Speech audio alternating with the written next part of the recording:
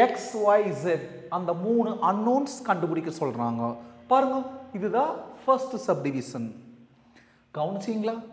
இது ஒரு மேட்ரிக்ஸ் அது ஒரு மேட்ரிக்ஸ் ரெண்டு ஒன்றுக்கு ஒன்று என்னவா இருக்குது? ஈக்குவலாக இருக்குது. ரெண்டு மேட்ரிக்ஸஸ் ஈக்குவல் அப்படின்னா கரஸ்பாண்டிங் எலமெண்ட்ஸ் ஆர் ஈக்குவல் அது என்ன? கரஸ்பாண்டிங் எலமெண்ட்ஸ் இங்கே ஃபர்ஸ்ட் ரோல ஃபர்ஸ்ட் எலமெண்ட் அங்கே ஃபர்ஸ்ட் ஃபஸ்ட் எலமெண்ட் ஈக்குவல் இங்கே ஃபர்ஸ்ட் செகண்டும் அங்கே ஃபர்ஸ்ட் செகண்டும் ஈக்குவல் இங்கே செகண்ட் ரோல ஃபஸ்ட்டும் அங்கே செகண்ட் ரோல ஃபர்ஸ்ட்டும் ஈக்குவல் இங்கே செகண்ட் ரோல செகண்டும் அங்கே செகண்ட் ரோல செகண்டும் இதுக்கு பேர் தான் கரஸ்பாண்டிங் இங்கே எந்த இடத்துல உட்காந்துருக்குதோ அங்கேயும் அதே இடத்துல அதே பொசிஷனில் உட்காந்துருக்கிறதுக்கு பேர் தான் கரஸ்பாண்டிங் எலமெண்ட்ஸ் இப்போ அந்த கான்செப்டை பயன்படுத்தி ஈக்குவாலிட்டி ஆஃப் மேட்ரிசஸ் பயன்படுத்தி எக்ஸ்ஒய்செட் கண்டுபிடிக்க போகிறோம் டைலாக் எழுதுறவங்க எழுதிக்கணும். Since two matrices are equal corresponding elements are ஈக்குவல்னு எழுதிட்டு அப்புறம் கண்டுபிடிங்க. இல்லை நேரடியாக கண்டுபிடிச்சாலும் சரி. முதல்ல எக்ஸ் கண்டுபிடிக்கலாம். இங்கே எக்ஸ் எங்கே உட்காந்துருக்குது பாருங்க. செகண்ட் லைனில் முதலாக உட்காந்துருக்குது அப்போ அங்கேயும் செகண்ட் லைனில் முதலாக என்ன உட்காந்துருக்குது த்ரீ அதுதான் எக்ஸ் மேட்ரிக்ஸ் பிரகாரம் சொல்லணும்னா செகண்ட் ரோல ஃபஸ்ட்டு காலத்தில் உட்காந்துக்கிற எலமெண்ட் பாருங்க செகண்ட் ரோல ஃபஸ்ட்டு காலத்தில் உட்காந்துக்கிற எலமெண்ட் அதுதான் corresponding elements x equal to three y எங்கே உட்காந்துருக்குது அங்கே. ஃபஸ்ட்டு லைனில் ஃபஸ்ட்டாக உட்காந்துருக்குது இப்போ ஒய் ஈக்குவல் டு அங்கே ஃபர்ஸ்ட் லைனில் ஃபஸ்ட்டாக உட்காந்துருந்தா இங்கேயும் அதே மாதிரி ஃபர்ஸ்ட் லைனில் ஃபஸ்ட்டாக உட்காந்துருக்கிறத எடுக்கணும். என்னது? டுவெல் அந்த ரெண்டு ஒன்றுக்கு ஒன்று ஈக்குவல் ஜெட் எங்கே உட்காந்துருக்குது பாருங்க. ஜெட்டுங்கிறது ஃபஸ்ட்டு லைனில் செகண்டாக உட்காந்துருக்குது இங்கே ஃபஸ்ட்டு லைனில் செகண்ட் என்ன உட்காந்துருக்குது த்ரீ அதுதான் இசட் இப்போது செகண்ட் சப்டிவிஷனுக்கு போகலாம் என்ன கொடுத்துருக்குறாங்க? X plus y two five plus z x y equal to six two five eight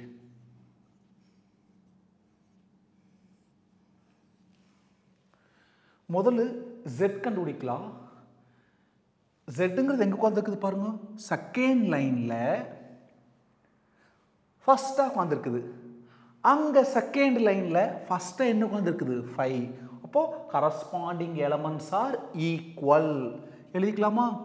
Five plus z equal to five plus five அங்கே போனால் minus five z equal to five minus five five minus five zero z ஈஸியாக கண்டுபிடிச்சிட்டோம். மீதி ரெண்டு யோசித்து கண்டுபிடிக்கணும். பரவாயில்ல அதனால என்ன? இங்கே பாருங்க. எக்ஸ் ப்ளஸ் ஒய் எத்தனாவது லைனில் எத்தனாவது உட்காந்துருக்குது ஃபஸ்ட்டு லைனில் ஃபஸ்ட்டாக உட்காந்துருக்குது x plus y equal to இங்கே ஃபஸ்ட் லைனில் ஃபஸ்ட்டாக உட்காந்துருந்தா அங்கேயும் ஃபர்ஸ்ட் லைனாக ஃபஸ்ட் லைன் உட்காந்துருக்குது சிக்ஸ் சிக்ஸ் நீங்கள் இப்போ எக்ஸ்க்கு அரேஞ்ச் பண்ணிட்டாலும் சரி அல்லது ஒய்க்கு அரேஞ்ச் பண்ணிட்டாலும் சரி. நம்ம என்ன பண்ணிக்கலாம்? ஒய்க்கு அரேஞ்ச் பண்ணிக்கலாம். Y equal to six plus x அங்கே போனால் மைனஸ் எக்ஸ் ஈக்குவேஷன் ஒன்றுன்னு வச்சுக்கலாம். அல்லது x equal to six minus y எப்படி வேணால் அரேஞ்ச் பண்ணிக்கோங்க. கடைசியில் பார்த்தா ஆன்சர்லாம் சேமாக மாறிடுது. கடைசியில் கிளைமேக்ஸில் அடுத்தது எக்ஸ் ஒய் இங்கே எங்கே உட்காந்துக்கு சொல்லுங்கள் ஃபஸ்ட் லைனா செகண்ட் லைனா வெரி குட் செகண்ட் லைனில் ஃபஸ்ட்டாக செகண்டா வெரி குட் செகண்டாக உட்காந்து. செகண்ட் லைனில் செகண்டாக உட்காந்துருக்குது எக்ஸ் ஒய் ஈக்குவல் டு அந்த மேட்ரிக்ஸ்லேயே அதே மாதிரி. செகண்ட் லைனில் செகண்ட் என்ன உட்காந்துருக்குது எயிட் இப்போது மேலே பாருங்க ஈக்குவேஷன் ஒன் ஒய்க்கு பதிலாக six minus x x into இங்கே ஒய் அந்த ஒய்க்கு பதிலாக six minus x equal to eight எப்படி வந்துச்சு? ஈக்குவேஷன் ஒன் தான் காரணம். ஃப்ரம் ஈக்குவேஷன் ஒன் எக்ஸை உள்ளார கொண்டு போகலாம் x into six six x x into minus x minus x square அந்த பக்கம் இருக்கிற ப்ளஸ் எயிட் இங்கே வந்தால் மைனஸ் எயிட் ஈக்குவல் டு அங்கே இருக்கிறது எல்லாம் கொண்டு வந்துட்டு ஒன்றுமே இல்லைன்னா ஜீரோ பாருங்கள் எக்ஸோட ஹையஸ்ட் பவர் டூ டூ வந்தாலே குவாட்ரட்டிக் ஈக்குவேஷன் குவாட்ரட்டிக் ஈக்குவேஷன்னாலே அந்த ஹையஸ்ட் பவருடைய கோஎஃபிஷியன்ட் ப்ளஸில் இருக்கணும் ஆனால் இங்கே மைனஸில் இருக்குது. ஒன்றும் கவலைப்பட தேவையில்லை. எல்லாம் ஆப்போசிட் சைடில் மாற்றிக்கலாம் ஒவ்வொரு டேர்மையும் மைனஸால் மல்டிப்ளை பண்ணிக்கலாம். Minus x square becomes plus x square மைனஸால் multiply பண்ணாலே ஆப்போசிட் சைனில் மாறிடு ப்ளஸ் சிக்ஸ் எக்ஸ் என்னவா மாறிடு minus six x minus eight என்னவா மாறிடு ப்ளஸ் எயிட் ஜீரோ மைனஸ் ஜீரோன்னு எழுதாதீங்க. ஜீரோக்கு சைனே கிடையாது. Zero is neither positive nor negative அது பாசிட்டிவும் கிடையாது நெகட்டிவும் கிடையாது. அப்போ ஜீரோக்கு சைன் மாத்திரப்போ ஜீரோன்னு எழுதிக்குங்க. எழுதுகிறப்ப கவனிச்சிங்களா? டிசெண்டிங் பவர் எழுதிக்கிற. எக்ஸ் ஸ்கொயர் டேர்ம் முதல்ல எக்ஸ் டேர்ம் ரெண்டாவது கான்ஸ்டன்ட் டேர்ம் மூணாவது. அப்போ தான் ஃபேக்ட்ரிஸ் பண்ணுறதுக்கு சௌரியமாக இருக்கும். இப்போ ஃபேக்ட்ரிஸ் பண்ணிக்கலாம். கவனிங்க. மல்டிப்ளை பண்ண என்ன வரணும் x square quotient one constant eight ரெண்டையும் மல்டிப்ளை பண்ணி மேலே எழுதுங்க. One into eight eight add பண்ண என்ன வரணும் எக்ஸோட கோஎஃபிஷியன்ட் மைனஸ் சிக்ஸ் ஆட் பண்ணால் மைனஸ் சிக்ஸ் வரணும் இங்கேயும் அங்கேயும் உட்கார வைக்கிற நம்பர் மல்டிப்ளிகேஷனில் அதையும் ஆடிஷனில் மைனஸ் சிக்ஸையும் கொடுக்கணும். என்ன காரணமாக இருக்கும்? No doubt minus two minus four மட்டும்தான் காரணமாக இருக்குது மல்டிப்ளை பண்ணுங்க. Minus into minus plus two into four eight ரெண்டையும் ஆட் பண்ணுங்க. Minus two minus six add பண்ணால் minus six minus two minus four add பண்ணால் மைனஸ் சிக்ஸ் ஒன் எக்ஸ் ஸ்கொயர்னு ஆரம்பித்தா by one x by one x அதே three M ஸ்கொயர்னு ஆரம்பித்தா by three m by three m two k ஸ்கொயர்னு ஆரம்பித்தா by two k by two k one எழுதினாலும் சரி எழுதாட்டியும் சரி அதனால எழுதலாம். அப்போ என்ன ஆயிடுச்சு x minus two into x minus four equal to zero ஒவ்வொன்றையும் ஈக்குவேட் டு ஜீரோ பண்ணிக்கலாம். ஒவ்வொரு factory x minus two equal to zero அதே மாதிரி x minus four equal to zero minus two அங்கே போனால் ப்ளஸ் டூ மைனஸ் ஃபோர் அங்கே போனால் plus four இப்போது ஈக்குவேஷன் ஒனில் கொண்டு போய் சப்ஸ்டியூட் பண்ணி ஒய் கண்டுபிடிச்சிக்கலாம். Equation one implies கவுனிங்க. Y equal to six minus six மைனஸ்க்கு அப்புறம் யார்? எக்ஸு எக்ஸ் என்ன கண்டுபிடிச்சிருக்கிறோம்? டூ அப்போ ஒய் என்ன வரும் சிக்ஸ் மைனஸ் டூ ஃபோர் அதே மாதிரி அங்கே ஈக்குவேஷன் ஒன் இம்ப்ளைஸ் பாருங்க. Y equal to six minus x x என்னது?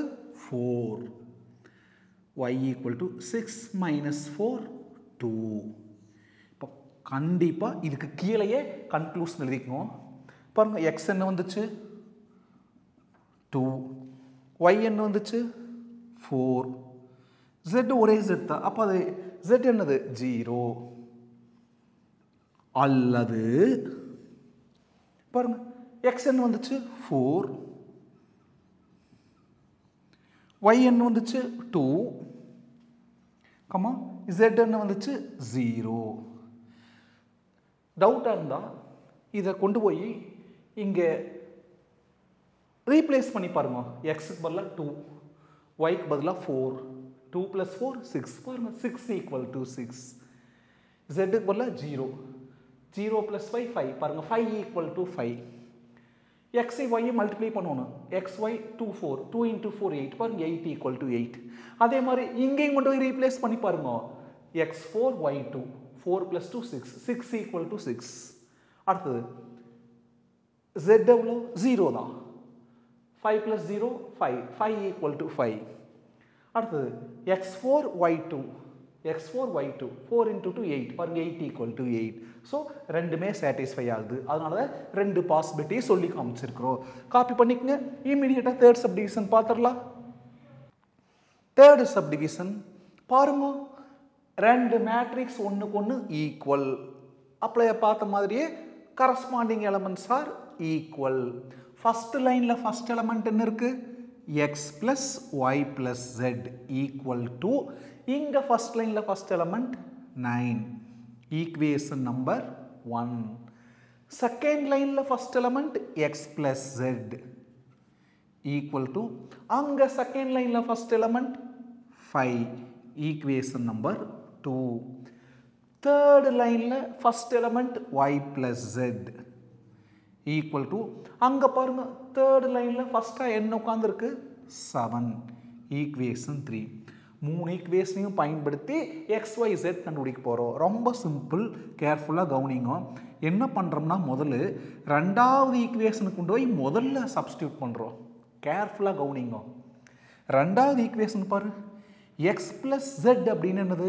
ஃபைவ் அதை கொண்டு எதில் சப்ஸ்டியூட் பண்ண போகிறோம் இந்த முதல்ல சப்ஸ்டியூட் பண்ண போகிறோம் இங்கே பாருங்க இந்த எக்ஸு இந்த ப்ளஸ் ஜெட் பாருங்க எக்ஸ் ப்ளஸ் ஜெட் இந்த ரெண்டுக்கும் பதிலாக தான் ஃபைவ் அதாவது எக்ஸ் ப்ளஸ் ஜெட்டுங்கிறது ஃபைவ் எக்ஸு ப்ளஸ் ஜெட் அந்த ரெண்டு சேர்ந்து தான் அந்த ரெண்டோட அடிஷனுக்கு தான் ஃபைவ் மிச்சம் என்ன இருக்குது? Plus y equal to nine ஏய் புரிஞ்சுதா?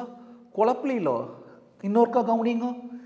எக்ஸ் ப்ளஸ் ஜெட்டுக்கு பதிலாக ஃபைவ் எக்ஸு ப்ளஸ் ஜெட்டுக்கு பதிலாக ஃபைவ் அந்த மறைச்சதுக்கு பதிலாக ஃபைவ் மிச்சம் plus y plus y equal to nine plus five அங்கே போனால் minus five nine minus five four y கண்டுபிடிச்சிட்டோம்.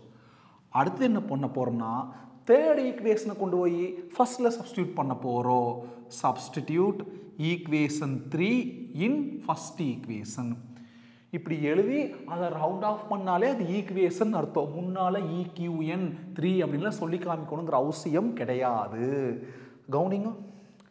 தேர்டை கொண்டு போய் ஃபஸ்ட்டில் சப்ஸ்டியூட் பண்ண போகிறோம் இதுதான் ஃபஸ்ட்டு ஒய் ப்ளஸ் ஜெட்டுக்கு பதிலாக செவன் பாருங்கள் ஒய் ப்ளஸ் ஜெட் இந்த ரெண்டுக்கும் பதிலாக செவன் மிச்சமில்ல அப்படியே இருக்கு. என்னது?